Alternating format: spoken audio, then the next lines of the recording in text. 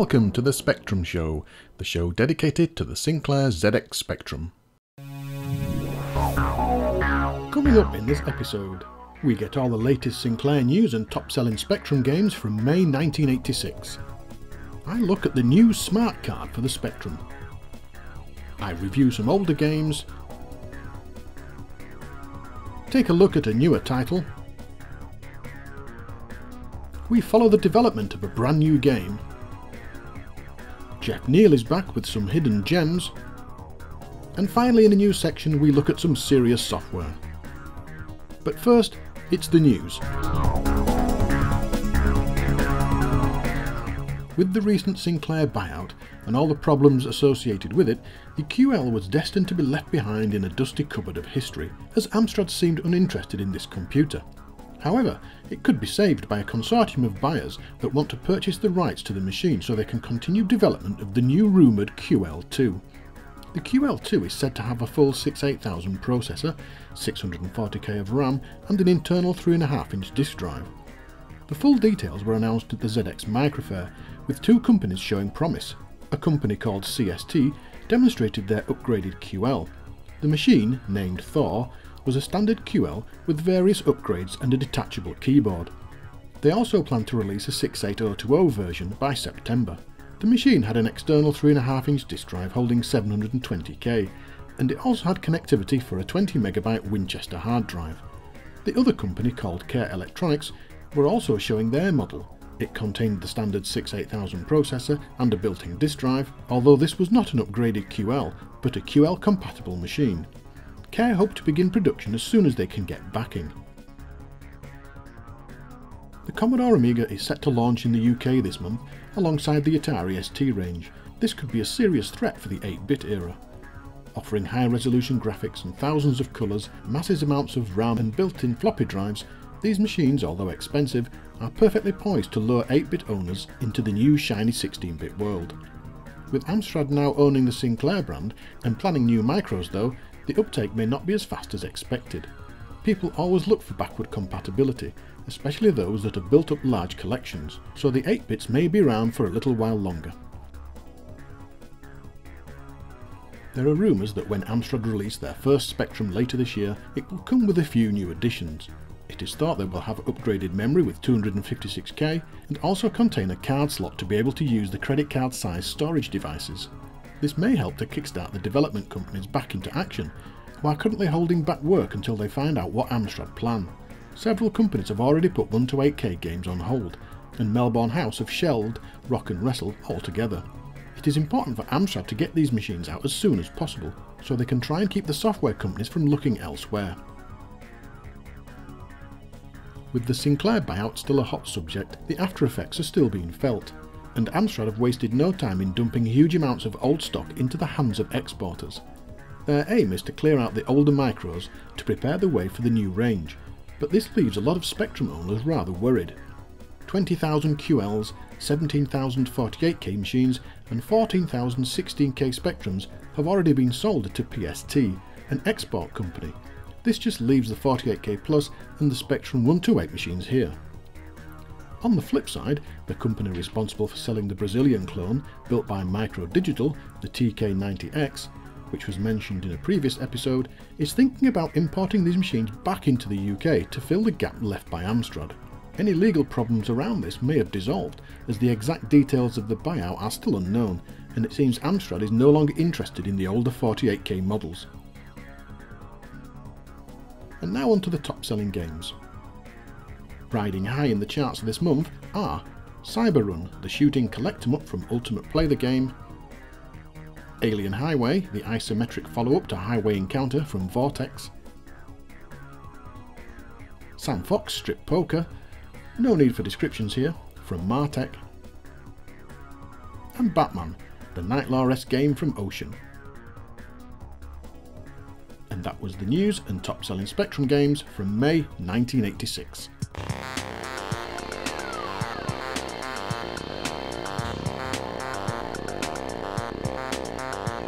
For any of you who watched episode 23 of the show, you will have seen my review of the fantastic DivIDE interface. a neat add-on that lets you load games instantly, as well as options to change firmware, giving full read-write capabilities. Many of you may have considered purchasing one, but were put off by the price, but just wanted to load games into your Spectrum. Well, if you aren't bothered about writing data and just want to load games as quickly as possible, then look no further than the Smart Card.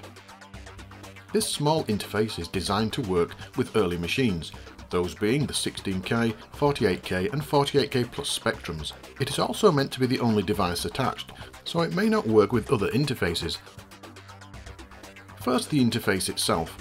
It's small, and as you can see, it contains an SD card slot, a set of jumpers, a reset button, an NMI button, a Kempston joystick port, and some LEDs. The first thing you need is an SD card, formatted to FAT16. Because it's FAT16, it means it will be visible on your PC or Mac, so to put games on it you simply drag files into it. You can also create folders too, if you want to organise your collection. By default it supports SNA files, or snap files, but can support TAP and TZX using a patched ROM, which we'll come on to later. Once you have your SD card, plug it in and connect it to your Spectrum, with the power off of course. When you power on, the interface will beep, and you will be presented with a listing from the root directory of the card. Using the keyboard or joystick, you can move up and down and select the game you want to load. The game will take between 5 and 8 seconds to load into the machine, and that's dependent on the game size itself, although snap files are usually the same size. If you wanted to use tap files, you follow the same process, but the first time you do this you'll be prompted to patch the ROM to provide support. To do this, you have to make sure that dip switch 2 is set to on, obviously turning the power off first. You go back and select the tap file and follow the instructions, and within a few seconds you're ready to load any tap files you want. Once you've selected the file and pressed enter, it will automatically load into your Spectrum. Some tap files though don't load, such as Dynamite Dan, but the instructions do say that the tape support is only experimental at the moment. Another feature of the smart card is the ROM banks. The unit has 16 ROM slots that can be loaded with compatible ROM files, like the one used for Interface 2. If you've patched your interface for tap files, the first three slots will be taken up, leaving you with 13 remaining empty slots. To add a ROM file you have to make sure that Jumper 2 is set to on. This enables writing. You then reset and hold down the space key, or press space key whilst browsing the files on the card, and this takes you to the ROM view, showing you all of the ROM banks and their contents. Pressing enter takes you to the ROM manager, where you can load or delete ROM files. To add one you simply select load, choose the slot that you want. If your ROMs are on your SD card, which is the easiest method, you choose that as the source, navigate to the file and press enter. After a few seconds the ROM will be loaded into the bank. And you can now load this direct from the ROM manager.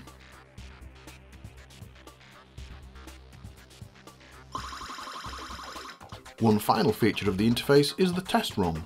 This is loaded by default into slot B. Selecting this runs various diagnostic tests on your Spectrum and will help with any repairs that you have to do, if you're technical enough. In summary then, this is a great way to quickly load games into the early Spectrum models. It provides a joystick port, which is Kempston compatible, ROM slots and a diagnostic tool. It will work with most SD cards, including larger capacity like 4GB, but that'll fit every Spectrum game you'll ever need on anyway. It's easy to use, it's fast, and the best part is the price. It costs around £21, that's all. If you're interested, it's available from the address on screen. Remember though, this is not DivIDE compatible, so you cannot change the firmware on it which in turn means that you can't use it to write directly to the card from your Spectrum. But then again, it wasn't designed to do that. It was designed as a mass storage medium so you can store all your games and load them quickly into your Spectrum. And for that, it's a fantastic piece of kit. With my DivIDE permanently attached to my Spectrum Plus 2, this card is now permanently attached to my 48K model. So anytime I want a quick game, I can just fire it on, press the button and away I go.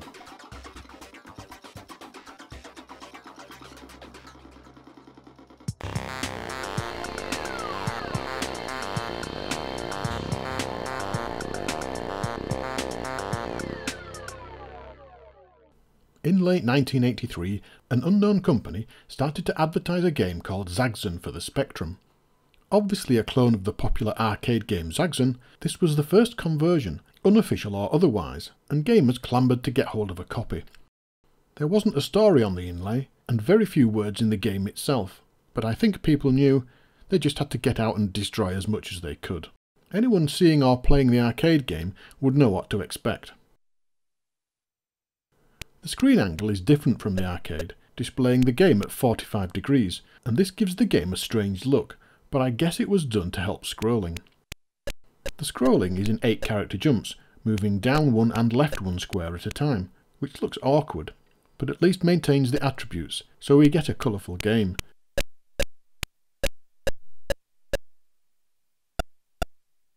Your ship casts a shadow, which is used to define the height and position, but this is tricky to keep an eye on, especially when the screen gets busy, and it soon does. There are walls of varying heights to avoid, enemy ships, rockets, and of course fuel dumps, which have to be shot to keep your fuel replenished.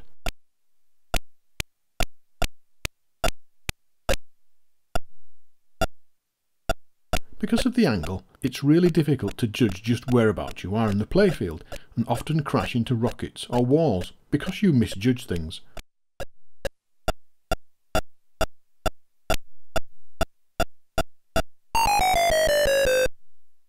Control is good but sometimes can be a little sluggish, with options for keyboard or joystick, but there's no option for the reverse up and down control, so to fly lower you have to push up on the joystick. Some users don't like this. Sound is used quite well with various effects for firing and explosions.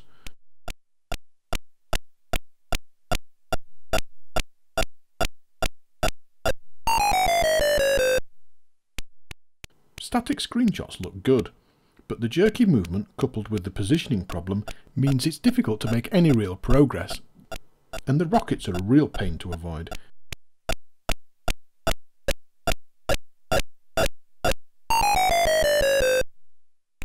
So, overall then, a brave attempt to recreate a classic arcade game that just falls short.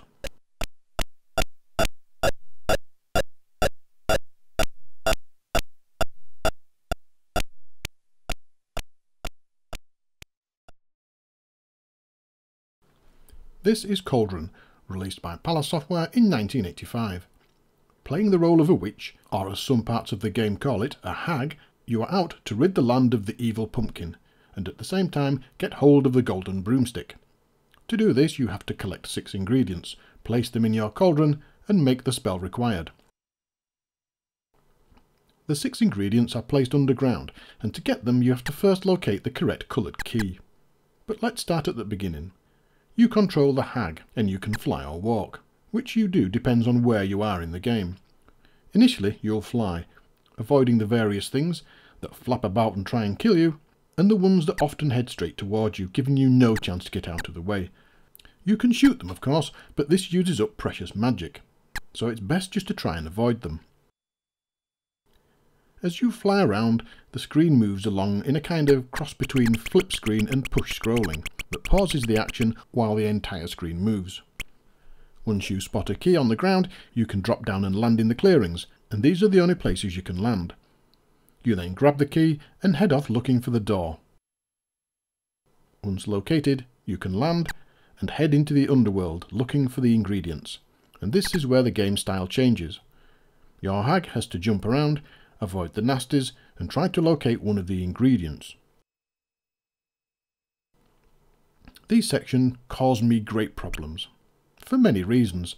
Firstly, they're just too hit and miss. The collision detection between the hag and the platform means it's all too easy just to fall off and die. Secondly, you often have to jump between screens, and unless you know the map like the back of your hand, it's very difficult to judge where the platform will be in the next screen because you can't see it. And thirdly, some of the walls can be walked through, like large pillars for example, but there's no indication that this is possible. So again, unless you have the map, it's all down to guesswork. All of this really spoilt the enjoyment of the game for me, and eventually, after several hours of getting nowhere, I had to revert to watching the RZX playback. Colliding with anything will lower your magic, and once it reaches zero, you lose a hag. You have eight to start with, but these soon start to drop off as you collide with everything. Because some of the evil creatures home in on you, your hag is powerless while walking, and you can easily lose a life just collecting a key. A map of course would make things easier, and watching the RZX playback it's certainly required if you want to avoid plummeting to your death in the underground sections. Onto the graphics. Well, they're large and well drawn, and move smoothly enough. Sound is a bit of a letdown though, and for most part you'll be playing the game in silence.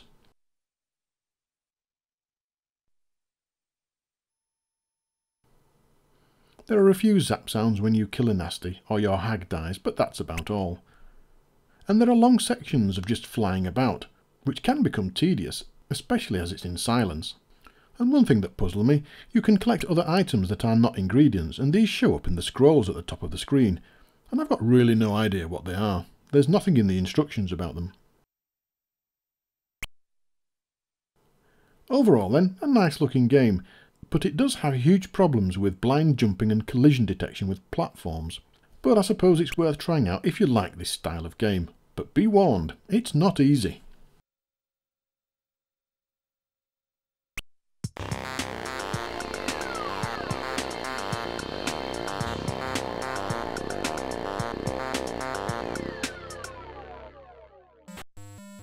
Anyone who watches the show will know how much I like shoot 'em ups, and how badly I play them, so any new game that comes along is the top of my list.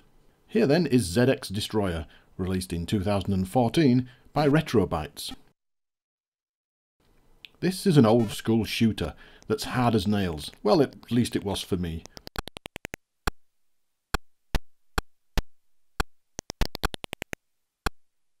The graphics are colourful, but because of this, they're not tremendously smooth, but that doesn't matter. The action is fast and furious, and a sort of mix between Galaxian and Space Invaders. I don't really have to explain how this kind of game works, but to be honest, for me it could do with being a little bit easier right at the beginning. Sound is used well, and control is responsive, which is a good thing for this type of game.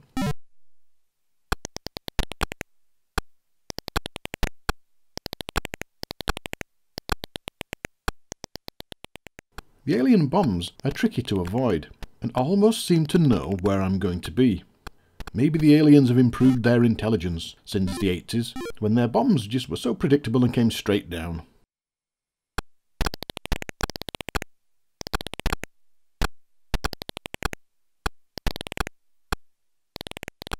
I played this for a while and never managed to get very far, but this didn't seem to deter me, and I kept going back for more.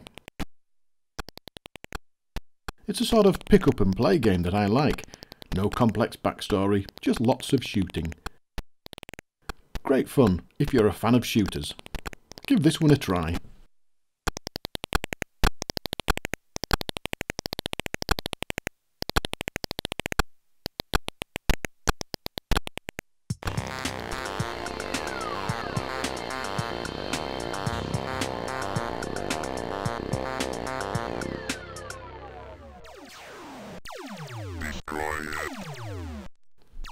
Welcome to this brand new section of the show. Over the next nine episodes, we're going to follow the trials and tribulations of Jason Bullough as he tries to create a fully fledged game for the Spectrum. It was while watching episode 36 of the show that he realised, as did many of us, that there wasn't really a good version of Berserk for the machine. Having written things before, back in the 80s, he decided to bite the bullet and try to recreate the arcade game. His plan was to begin in BASIC, although he's worked in Z80 and 6502 before.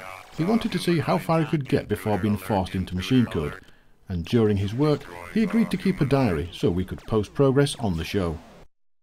The first task was to figure out how to generate the maze, make it random but playable, and of course make it fast to draw. A quick search on the internet took him to a website that explained how the arcade machine did it, effectively creating 1024 rooms, with 876 of them unique, and the possibility to create 65,536 rooms in total. He had to work out how to hold and generate all of those rooms without storing data, but still have a map that drew the same each time. Modifying the arcade maze generator to make it simpler, he came up with a map consisting of 1024 rooms, set out in a 32 by 32 room grid. The next task was to draw the walls for each room. The outer walls were not a problem, he just had to make sure the exits were blocked for any rooms on the outside of the maze. The inner walls were created using a fixed set of 8 pillar points. Generating a random number between 1 and 4 dictated which direction each pillar would draw a wall, and then six wall blocks were drawn based on those numbers. This gave the effect of a random maze, but Jason's code meant he could draw each room exactly the same each time without having to store lots of room data. Now that the maze is done, it needs to be tested, so Jason quickly added a placeholder to move around the screen and go from room to room. At the moment his code, which is in BASIC, generates the same maze each time, but there's no reason why, by setting the seed generator to use something like the number of seconds since power on, it can't be made to generate a different maze for each game. For now though, he's happy with this routine, and although not lightning fast, it certainly does the job. This feature and the game will continue next month.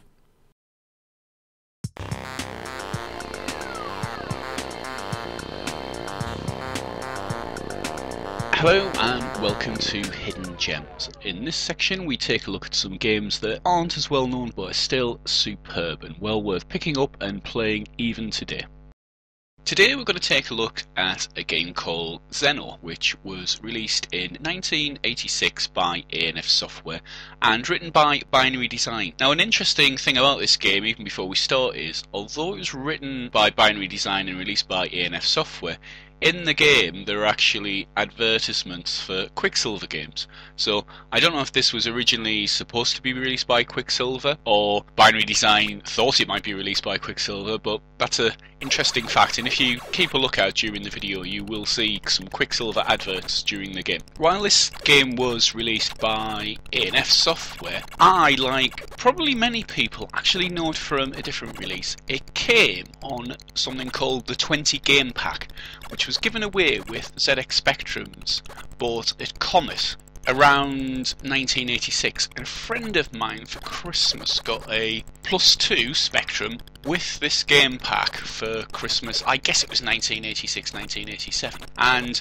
that was a really, really good game pack. It had some really, really good games on it, and this was one of them. We used to play this around his house, in his bedroom. He'd fire it up, and we played it tons.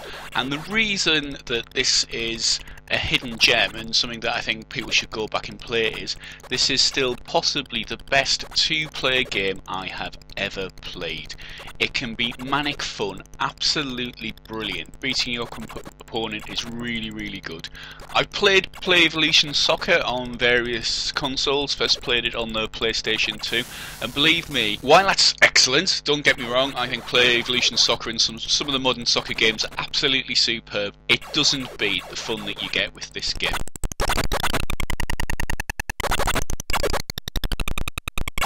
The gameplay is actually fiendishly simple. There's a ball which you have to try and get into your opponent's goal, and to do that, you have a kind of hockey puck, a squashed sphere, if you like, that you need to bounce around. And the way that you do that is each puck has what can only be described as a piece of elastic with some crosshairs at the end. So you move the crosshairs, which controls where the end of this piece of elastic ends up on the playing field. You then press fire, and your puck is propelled propelled towards those crosshairs. Obviously, it being elastic, the further away from your puck the crosshairs are, the faster your puck goes. And your puck can then bounce into things, the edges of the playing field, the opponent's puck, or most likely what you wanted to do is hit the ball and try and get it into your opponent's goal.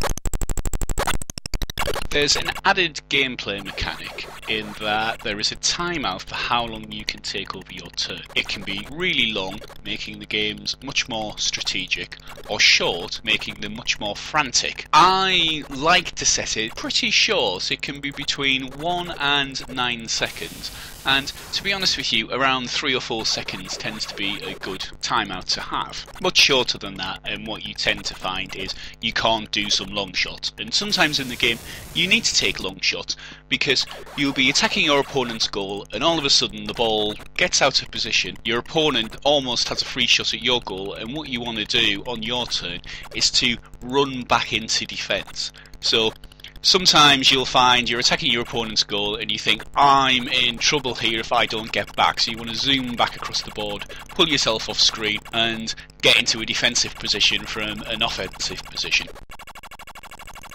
I have read some reviews of this game and some comments on it where people have said, I don't like this game, the angles aren't right, sometimes when you hit the corner you just go flying off parallel to the edge of the playing field. That's actually probably in there on purpose, and that gameplay mechanic where you do that is incredibly useful because what it means is if your opponent managed to get the ball just in front of your goal and on their next turn will easily knock it into your goal, you can use that to knock it away from the goal. When we discovered that when we were kids, that made a huge difference to some of the games we played. It it was a saving move that when you pulled off was really really satisfying. Another thing you can do is take your turn really really quickly. Say your opponent has a clear shot on goal and the ball's being propelled towards the goal. You can actually do an interception and intercept the ball before it gets to your goal and knock it away and do a save that way as well. So there are subtleties with this game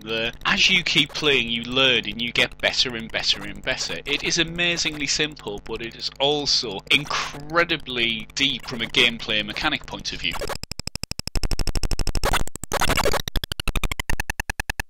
This game is also probably ripe for a modern remake.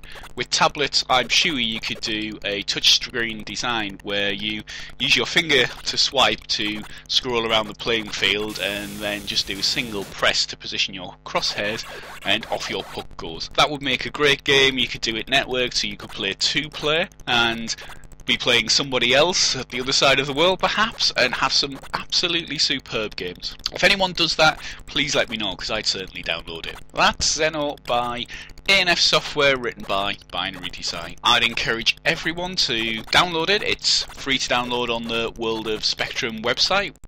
Fire it up in an emulator, have a few games against the computer to get a feel of it, and then get some friends round, have a few beers and play a few two-player games. You'll absolutely love it, it's superb once you get into it. I'd really really encourage everyone to do that. So until next time, happy gaming!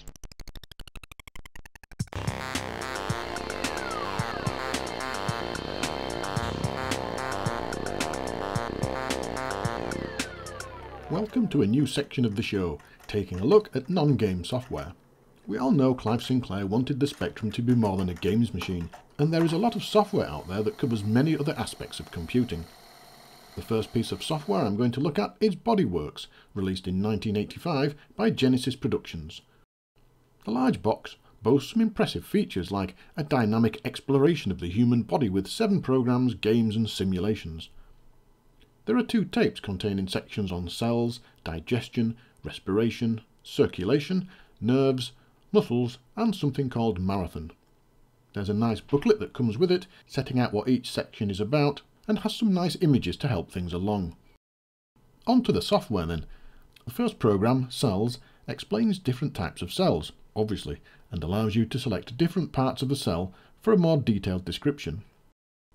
The numbers in brackets are used to identify specific parts of the diagram, and to highlight them you just press the key. Cell elements are then explained in simple terms, and some have animations that show how substances can enter and leave the cell. Next we have digestion, and here we follow food from being eaten into the stomach, into the duodenum and into the lower intestine, and thankfully no further than that. You can then follow three types of food as they pass through the body but they're all pretty similar using the same character-based animations. Lastly, we are taken to the liver simulation, where we can control glucose entering the bloodstream and change the demand from the cells. This little game shows how too much food and little demand will cause the body to store excess elements. Next we move on to respiration. This attempts to explain how we breathe. It uses a nice diagram too, that shows the blood flowing around the body through the heart and being oxygenated and deoxygenated. We can then see how all this operates at different rates, for example resting or running. The next program is circulation. This covers the blood's journey through various parts of the body and uses a quite complex diagram. Having to press space for each stage does become a little dull at times, but at least at the end there's an option to show a fast replay. It would have been better to offer this at the start, I think. Next it's on to nerves, and here we are told how signals are sent from our nerves via the spinal column and into the brain. It all seems very simple. Maybe I should become a doctor. Then we get a sort of simulation where you can change two types of setting and see what the result will be.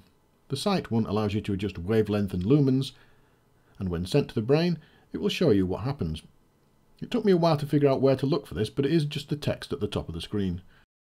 Sound is very similar, lets you change wavelength and decibels, and again you can see the result. I suppose because of the spectrum sound and colour capabilities, it would be difficult to show exact results. Onwards then and on to muscles. And here we are shown how the brain controls the muscles around the body. You can select something like left leg and see the journey of the signal from the brain to the leg, or whichever part of the body you chose.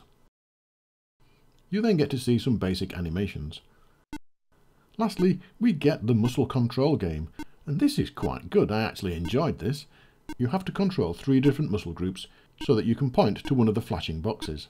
And it does get you thinking.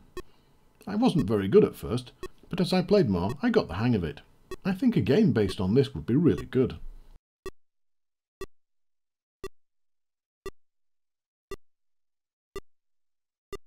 The final program then is Marathon. And here we're using all the knowledge that we've acquired whilst watching all these programs to try and guide your runner during a marathon. You get to control the heart rate and output, which in turn causes numerous stats to be displayed as you push your runner to the limit, the terrain changes too, so you can adjust your speed based on that. And of course your current health status. It's not very exciting to be honest, and I completed the short run, which is 5 miles, by just setting the man to run at 8 miles an hour. The package as a whole then isn't bad, and would be a good teaching aid for children. I think the program would be better if there was someone telling you about each animation, rather than having to read the sparse text or trawling through the booklet.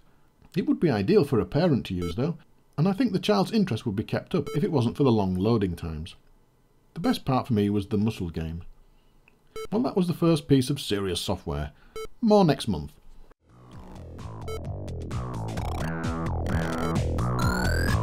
Well, that's the end of this episode. I hope you enjoyed it, and thanks for watching. You can get in touch by using the details on screen. See you soon.